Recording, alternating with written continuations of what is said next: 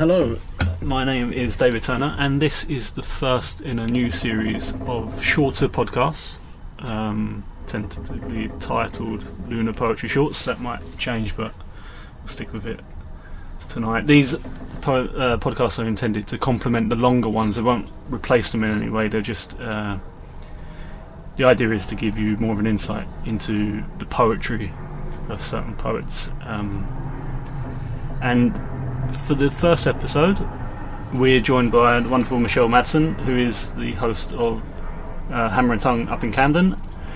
And so, usually in the podcast, we start off with an introduction from the poet, but instead of that, we're going to begin with a poem. This is called Not the Right Season for Nisse. I hate to say she's managed to land in the wrong country. That as the crow flies, she's about 30,000 Nisse hours away from anyone who believes she exists, so I just sit and watch her try to push unspeakable gifts on unsuspecting children in the playground. One well fed looking kid with meaty fists for hands grabs her red hat and dumps it on his blonde head. Hey! I watch her mouth say, but her voice is very small and never mind it's hot even for July and the hat is a huge woolly hive that would make you sweat even in Lapland. I shake my head and concentrate on swinging higher, high enough to touch the sun with my feet. When I land on shaky legs and get over the dizziness, the sun, blindness, my little pal is gone. I see the blonde kid with the red hat in his hand, and I use my superior height to wrest it from him. I sit on the park bench on a pile of newspapers and try to ignore the sticky layers that want to cling to me. I could have kept my eyes open and told her that some of us are grateful in the end, but I'm sure, or I hope, that she'll have guessed the same. So I sit back and let the heat watch over me, let the red of my sweat cool my cheeks. Thank you very much. Thank and hello, Michelle. Hello, David. Um, just a quick point for listeners: if you hear any creaking, we're on a bloody houseboat, which is amazing. Um, it's not my knees creaking. Thank you. That was really good. Um, my first question is uh, why poetry? Um, I actually took a long time to come to poetry. I'm not one of these people who was sort of scribbling down poems as a 10 year old. I always read books. I love stories. I loved hide, you know, sitting on a windowsill Yeah. and getting, delving into these pages and literally leaping into another world. My imagination was always firing. But poems always left me a bit cold. I even studied English at university and um, really struggled to kind of understand what was going on. But I did. I, I did really love the the the, the rhythm and the, the the pace of thing, the poetry. And the one thing I really did like was Old English poetry. I didn't understand what was going on. I had to learn an entire language in about three weeks. Had no idea what was happening. But there are these um, constructs in Old or Middle English poetry called kennings. Two words that go together. They're like two word metaphors Okay. like windsweeper, which is a type of bird or something like that. And that sort of stuff stuck with me. Couldn't really get Milton, but I've got that sort of stuff. But it was really when I went to a gig in um in uh, uh, I think well, just after I finished university, and it was a Four Nations slam, and it was a club called the Zodiac, and um, and I saw the Queen of Sheba, who's an American um, slam poet, stand up and and perform, and I was completely and utterly blown away. Poetry to me had been something kind of a bit dead, and then to suddenly see it happen on a stage, or this kind of magic summoning almost, Mm. summoning of everyone's attention. You're not dancing. You can dance, but it's a different thing. It's kind of the words filled every crack in the room, and I was like, ah, okay. And then I after that, I started writing some of my own stuff, and it sort of spun out from there. So it was, uh, yeah, it was inspiration found in a live performance more than through a book. Uh, love of words through the written word. Yeah, Yeah. yeah. Um, yeah, the reason I asked that is uh, so the next question was going to be: um, is How often do you read your poetry in public, and how important is that side of your uh, poetry practice to you? Um, I, um, it's I probably I gig probably on average twice a week. Um, it really depends on the time of the year. If I've got some big projects on, then I'll try not to do so much. But uh, generally, around that many times. If, um, always up for doing more gigs, however. So do get in touch. Um, but the, that is, it's really, it's it's a really important side to me. I mean, I love, I love the theatricality of it. I like. I, I think that poetry does um, amazing things when it's something that is lifted from the page because that's one thing there but when you suddenly it's an oral tradition. It's it's a it's about like uh, sharing the sounds and your expression and and loving it and enjoying it. And and I I love the wide gamut of the different things that people do when they perform I like the different style of their uh, their interpretation of their own words um, for actually when I I when was, I was doing the gig in Putney and I saw you for the first time, I think it was one of the least word filled performances yeah. I've ever seen. I was absolutely transfixed. And I was like, do you know what I mean? If you looked at that on the page, there would be quite a lot of gaps. And whilst you could a lot of gaps exactly, but whilst you could you could get a lot from that, maybe it's just so amazing to see it on stage. And I, that's one of the ways that I'd like to. That's one of the things I want to move into is um, writing, using my experience of writing poetry and and for the sta- for a stage yes, to yeah. turn that into something more kind of halfway between poetry and halfway and, and a play because yeah. it's a it's not a leap too much of a leap from there. I don't. Think. No, actually, we can come on to that um, in a couple of questions' time. But maybe we should uh, have another poem. Another poem. Yeah. Okay. This is called "How Real Models Lose Weight." I'd like to go in at the waist instead of out. I've seen how good other girls look with fake gems glimmering in their flat bellies. I watch them in magazines, they glitter on the page. Their thin, brittle limbs are shiny trim, clutched possessively by interchangeable Adonises. Torsos carved out of pixelated marble, seen through grainy telephoto lens. I would like to be one of them.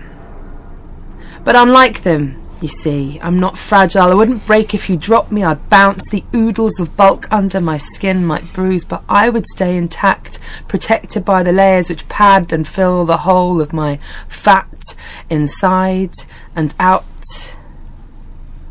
My problem is, I see food everywhere. It litters the fridge, and on the street outside my door, it's advertised in glowing letters night beacons and day sirens alert it to me. I want to be able to see through it, shed all of its constituent bits, and be wraith like a string of cells built on air and a hopeful scaffold of bones.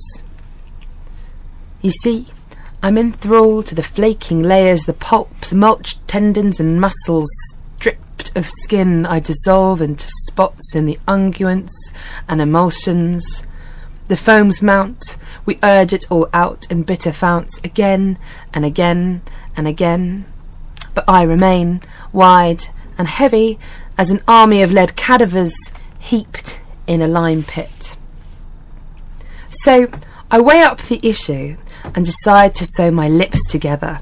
With a knitting needle I find in the drawer where the freezer bags are kept, I stab at them all, they wheeze, release. I use a sanitized butcher's string. It stings when it goes in and out as I my lips draw together in a bloody permakiss. It takes a while, but the pounds start to go, and I glow with quiet pride from the creaking desert of my empty insides. I've eaten all my words, they sustain me, jostling for space in my shrinking belly. It's been a long time since I had a conversation, but I don't doubt that reduced and silent, I am a better table companion than before. I watch you eat, I smile, you don't see it. The caked blood turns black, my lips fuse into a rosebud of promise which cracks when you touch it. I will use it to address the letter to the glimmering magazine editor when I am as flat as a page. And I'll have shelved that hefty third dimension and those pesky other selves, and I will package myself in a box, snugly held in place by handfuls of scented sawdust, perfumed with sachets of free cologne samples. Poster rolled, I'll be their centerfold, darling, unfurled, no curves, just a smile pulled taut around my golden skinned mates and a steely diadem in the middle of my fleshless model self. Thank you. I was desperately trying not to cough then. cough away, Yeah. cough away. Um, yeah, I'd like to ask how you critique your own work. Um, do you have any particular people you share your writing with, or do you look for feedback from audiences? Or Um, I definitely do look for feedback from audiences, but there are some poems, for instance, like the one that you just heard, which is really not something I perform Mhm. very often. Um, but actually, I, that, that I told you that was something I wrote quite a long time ago. But I, that was worked and worked and worked and worked, and um, and actually, so the way I usually work is I'll, I'll, I'll write something, I'll get, and if, if I like it, I get excited about it. I'm like, "Oh, I have to tell people about it, so I'll get up on stage and I'll shout it. And I usually respond quite quickly to how, you know, the, the response of the audience. So if they're like, "Yay!" I'm like, "Yeah, this is a this is a set Yeah. piece." Um, and if it's not, then I usually, if it, if there's a kind of stunned silence or like people just look a bit horrified, then I usually go back and I look at it and think, do I like it? Do I? Wh- wh- why did I write this? Who have I written it for? Is, am I doing anything interesting with language? Um, am I? Am, I right? Have I got a message? Does this need to be told to an audience of people on a, in front of a stage, or can I just get on with it and write it for me? And that's usually the process that I go through. Um, and uh, and I do share it with friends as well. I've got um, I've got some. There's some poets who I work quite closely with, um, for instance, with Hammer and Tongue and stuff that I that I will share things with. But I usually share it with the audience. Yeah. And we sort of touched on this, or you did uh, a little bit earlier, so you might have already answered this question, but you might also want to go a bit more into it. I wondered how you would like to see your own writing progress. And I had actually put in brackets maybe some sort of Edinburgh style show. I don't know. So you mentioned about writing Yeah. longer, so it's more, more like a play. But Well, I suppose um, so. There are a few things I'd like to do. Um, I um, um, I- I'm, I'm writing a novel, which is something I'm finding very difficult because I um, I've been much more. I mean, I'm a journalist as well, so I am a prose writer, but I write short pieces that get published that Yes, day, and that's a very different discipline. Um, with uh, with poetry, I just like it to get better and be more honest, Yeah. and um, and write more. But with the um, with the theatre piece, I've been watching a lot of um, theatre which has been devised recently, but devised with a bunch of people. Yeah. There's a great theatre company called 1927, which is actually based here in Hackney Wick, which put on a fantastic show called Golem, and quite a lot of that was in verse. Um, and there's a theatre maker called Caroline Horton who's doing some very clowny things. I like the I like the I like to bring together the very the, the form of poetry with something that's with um audiovisual stuff and also this kind of like very exaggerated physical theatre okay. because I think that they're kind of all uh, like polar opposites almost. I'd be interested to see what happens. Yeah. Uh, and maybe a third and final part, and then we go on to the last couple of questions. Okay. Um, this is called We'd All Melt. The night you said beautiful, I laughed my ribs out in great bowers of bent rope bone which broke from me, choking my protests in calcified smiles beaching eventually on the ashen fireside tiles, and I thought that night, I thought, this is all a tremendous joke. That night, we built a table out of those marble arcs and lined it with the lace of ancient brides and the pink silk of pig's ears which pricked up to hear you laugh, that thick, rich mirth which stopped all our wounds in a lineament of tumbling decibels. That night, your generosity could have tempted retiring icebergs into the sweltering gulf, eased them into the shallows where mottled starfish would petrify in the aching meltwater. That night, your generosity could have begged a pause from a heaving coal train's snort and mass better than an entire horizon of red flags held up by 29 boiler suited protesters. That night, you wore your generosity stitched around your neck in a cravat of courtesy. I searched in the arrows of the print for a caveat of infidelity made out and pointing to me, but you, you see, you, you soothed the edges of her sadness. Her night fears bulk at you with a tight, sprung release of so many spring lambs, those boundless leaping mutes bleating soundlessly into the dawn.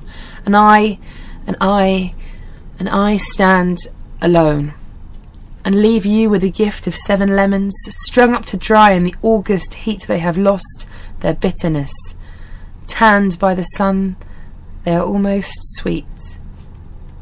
You palm the fruit carefully as if its blanched skin would bleach the humanity from your fingertips. But the fruit is innocent, and I will wait for years for the ears of your eyes to open and the eyes of your ears to awake. And until then, I am forbidden. I will sit between you like an unblooded Banquo freezing the air. I will make time still. Thank you very much. What's that line? Uh, laughed my ribs out in great. Bowers of bent I really like that. Yeah, I think that's the first poem I saw you do at Bang. Yeah, I, Yeah, I, I that's really like that. I, that. Yeah, that one always goes. You know, Yeah, when yeah. you have write something and it still sticks with you. yeah. Yeah. Um, just um, so I don't forget.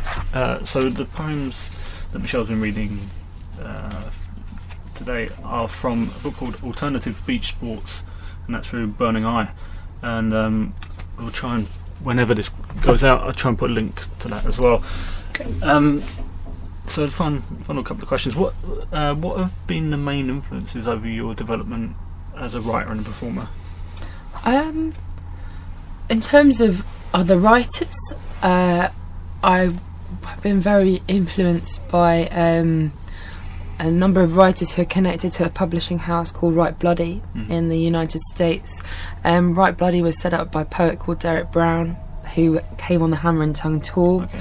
a few years ago, um, and that was my introduction to this rock and roll, glittery, bloody bunch of amazing, kind of like you know crazy American poets, and they're really, they're you know some have become quite good friends, and it's they're it's a very different. Um, uh, package Yeah. almost that you get um, but uh, you know in fact right in front of us here I've got a book of one of them and it's a poet called Mindy Nettifee and it's a great book called Glitter in the Blood and it's about writing with Okay. honesty and, and, and vim um, and that's great I mean and, and then I suppose like it's a bit of a corny thing to say but uh, the greatest poet, one of the greatest poets, the two greatest poets I have, was uh, introduced to as at an early stage would, was Shakespeare and John Donne, and um, and John Donne just sat with me uh, for many many years. This this kind of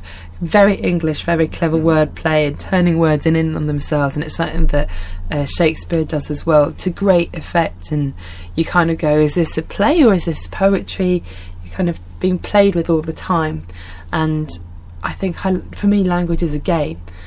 If it's if you've got a conceit which is overplayed, not honest, then it's a bit of a crap game. Yeah.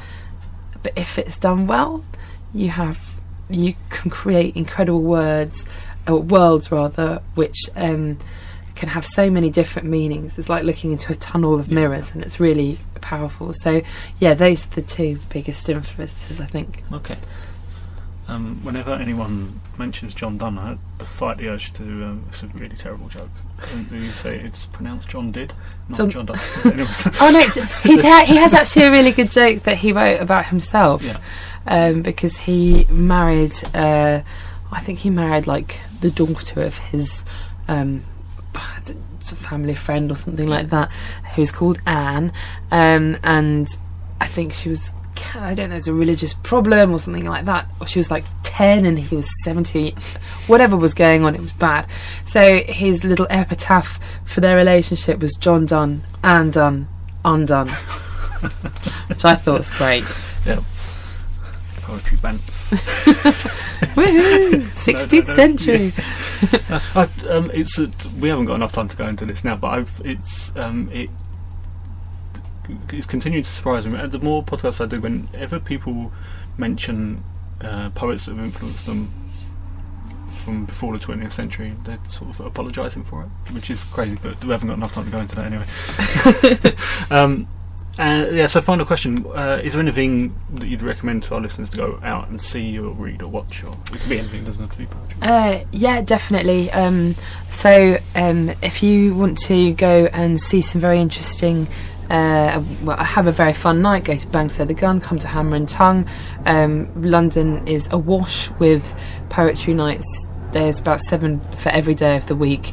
You don't need to stay at home. Write Out Loud has got a really good compendium and everything that's yes, going on. right out loud. Um, it's great. Um, I'm involved in the Book Club Boutique, which is uh, a fantastic, unique, and completely crazy night, which is run by um, one of the most. Uh, this is she's definitely an influence on me. The fantastic Salena Godden. She's um, she's like the uh, Mae West of the London Literary Salon, and she's quite special. And one of the great things that happens at Book Club Boutique is that it attracts a very sort of Soho feeling crowd of writers, artists, uh, general bohemians, um, people around about town. You kind of it, it's it's very special, and there's also room for people to write their own work. It's usually themed, so you can write to a theme, and that actually really helped me when I started writing. I used to go to those nights on a weekly basis and write to a theme, and it was a really eye-opening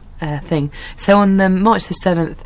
Um, the book club boutique is going back to Salena Godden's hometown uh, to a new venue on the road that she grew up called Springfield Road, which is the name of her memoir, and everyone's invited. Okay.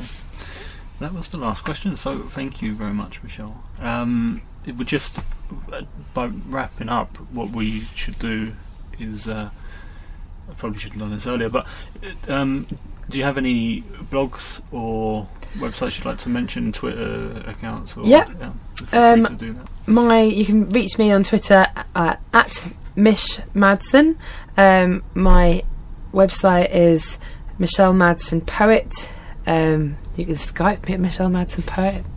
Don't know if you want to do that, um, but uh, I post loads of stuff about what we're doing um, on the general Twitter sphere, um, and uh, please do say hello. Um, I'm happy to not just have a chat with you about my stuff, but also to hook you up to other people. Uh, it's all good.